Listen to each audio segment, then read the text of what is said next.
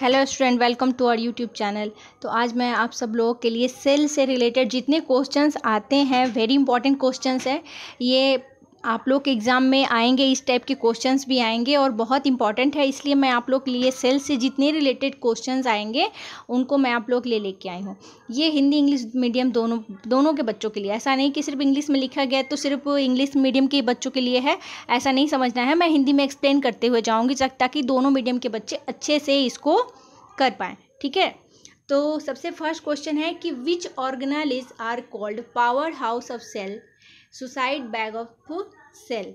तो हम लोग कोशिकांग बोलते हैं अनऑर्गेनिल्स यानी कि किस कोशिकांग को पावर हाउस ऑफ़ सेल कहा जाता है, यानी कि माइटोकॉन्ड्रिया को कहा जाता है हम सभी जानते हैं। सुसाइड बैग है, सुसाइड बैग ऑफ़ सेल किसको कहा जाता है? लाइजोजोम को कहा जाता है। उसके बाद सेकेंड क्वेश्चन है, state two function of nucleus of a cell. Nucleus का जो केंद्रक का एक कोशिका के भीतर क्या क्या काम हो सकता है? तो ये क्या करता है? जेनेटिक इन्फॉर्मेशन देता है और कंट्रोल कंट्रोल करता है। कंट्रोल करता है सेंटर को। उसके बाद name two organelles that have their own genetic material ऐसे दो कोशिकांग का नाम बताइए जिनका अपना खुद जेनेटिक मटेरियल होता है। ठीक है तो माइटोकॉन्ड्रिया और प्लास्टेट्स इसका राइट आंसर है। Name the plastids which stores starch oils and protein granules तो ल्यूकोप्लास्ट में होता है। एक ऐसा प्लास्टिक, यानी ऐसा लवक का नाम बताइए ल्यूकोप्लास्ट है, उनमें क्या है? अमाइलोप्लास्ट है स्टार्च के लिए, उसके बाद है एलाइयोप्लास्ट है ऑयल के लिए, और एलोरोप्लास्ट है प्रोटीन के लिए, ठीक है? उसके बाद है, पांचवा number question name the cell organelle which is the able to destroy damage old damaged old या वॉर्न वॉर्न आउट सेल तो हम लोग क्या जानते हैं? लाइजोजोम ये इस तरह के क्वेश्चंस आते हैं, घुमा घुमा के आएँगे आप लोगों के पास। मतलब उनको जो क्वेश्चंस है, वो टर्न कर करके आते हैं, ठीक है? तो हम लोग इसको ऐसे भी इसका आंसर हम लोग लिख सकते हैं, ठीक है? उसके बाद हम लोग आते हैं। उसके बाद है हमारा जो नेक्स्ट क्वेश्चन है who discovered cells in living organism living organism organisms में सेल की खोज किसने की थी? ठीक है? तो जो राइट right आंसर है, वो है लियोवेन लियोविन हॉक ठीक है? सिक्सटीन सेवेंटी फोर में। Where the chromosome located in a cell chromosome cell के भीतर कहाँ लोकेट होता है? और what are they are compose of ये किस तरह से बने हुए होते हैं? तो सबसे पहले इसका आंसर होगा न्यूक्लियस और कंपोजिशन क्या होगा? डीएनए एंड प्रोटीन ठीक है? Name the smallest organelles smallest organelles क्या हो सकता है? राइबोजोम हो सकता है, लार्जेस्ट सेल ऑर्गेनलिस क्या हो सकता है? प्लांट्स के भीतर प्लास्टिस हो सकता है प्लास्टिस जिसको लॉग कहते हैं। Largest cell organelles in animals, mitochondria हो सकता है। लार्जेस्ट सेल स्ट्रक्चर, न्यूक्लियस हो सकता है। लार्जेस्ट सेल ऑस्ट्रीज एक को कहा जाता है और किचन ऑफ़ द सेल कहा जाता है, क्लोरोप्लास्ट को, ठीक है? ये इंपॉर्टेंट क्वेश्चंस हैं। मैंने इसको शॉर्ट टाइप में लिख के रखा है आप लोगों के लिए। इसके बाद का क्वेश्चन है व्हाट इज़ टोनोप्लास्ट टोनोप्लास्ट क्या होता है?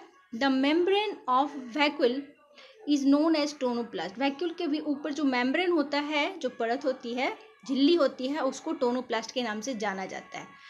गोल्गी बॉडी या गोल्गी ऑपरेटर्स के दो कार्य बताइए। Two function of Golgi body तो गोल्जी का या गोल्गी बॉडी आप कह सकते हैं Golgi bodies help in the formation of cell plate. Cell plate के फॉर्मेशन यानी उनके बनाने में सहायता करता है। फिर फॉर्मेशन ऑफ़ लाइजोजोम लाइजोजोम के बनाने में भी ये हेल्प करता है। Mention the function of a cell wall. Cell wall का यानी कोशिका भित्ति का क्या काम हो सकता है? सेल वॉल प्रोवाइड शेप आकार, रिजिडिटी, स्थायित्व, प्रोटेक्शन ऑफ़ सेल।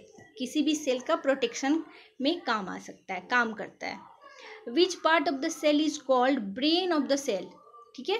सेल के किस पार्ट को उस कोशिका का मस्तिष्क कहा जाता है?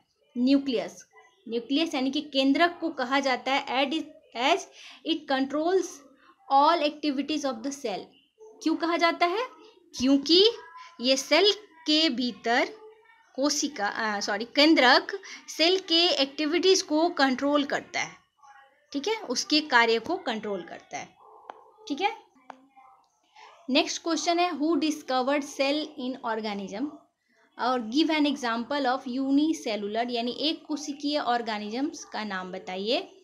Who discovered cell in organism किसने खोजा था? किसने सर्च किया? तो रॉबर्ट हुक ने 1665 में खोजा था और डिस्कवर किया था। और एक कोशिकीय जीव में अमीबा लिख सकते हैं पैरामोशियम लिख सकते हैं। ठीक है? पैरामीशियम, ठीक है? State the full form of ATP full form of ATP क्या हो सकता है? एडोनसिन एडोनसिन ट्राईफॉस्फेट ठीक है? Name the cell organelle responsible for intracellular transport एक ऐसे सेल ऑर्गेनिज का नाम बताइए जो कि इंट्रासेलुलर ट्रांसपोर्ट में सहायता करते हैं, ठीक है? तो इंडोप्लाज्मिक रेटिकुलम कहा जाता है। और उसके बाद है नेम द प्लास्टिस एक ऐसे लवक का नाम बताइए। Involve in conversion of a green brinjal to violet जो ग्रीन ब्रिंजल ब्रिंजल को ग्रीन ब्रिंजल मीन्स हरे बैंगन को वायलट कलर में कन्वर्ट करने में काम करता है। तो जो नॉन ग्रीन क्रोमोप्लास्ट होते हैं, वही सॉरी क्रोमोप्लास्ट होते हैं, वही कहा सहायता करते हैं, ठीक है? उसके बाद why mitochondria is called power house of cell mitochondria को पावर हाउस ऑफ़ सेल क्यों कहा जाता है?